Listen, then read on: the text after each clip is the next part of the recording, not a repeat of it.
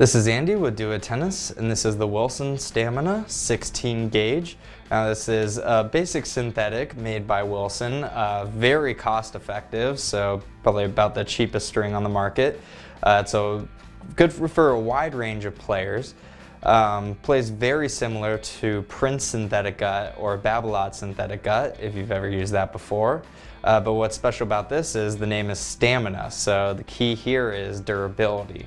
Now Wilson's stamina lasts about 25% longer than its competitors. So if you're looking for this uh, synthetic gut, but you don't want the, the stiff feel and you, you want something that's gonna last you a decent amount of time, this is a great option. Now as far as on the power scale, on a scale of 1 to 10, checks in at a very solid 7 out of 10. And as far as durability goes, it's a 5 out of 10. So if you're a perennial string breaker, you may want to avoid this string. Now the string also comes in a 17 gauge, which is a little bit thinner.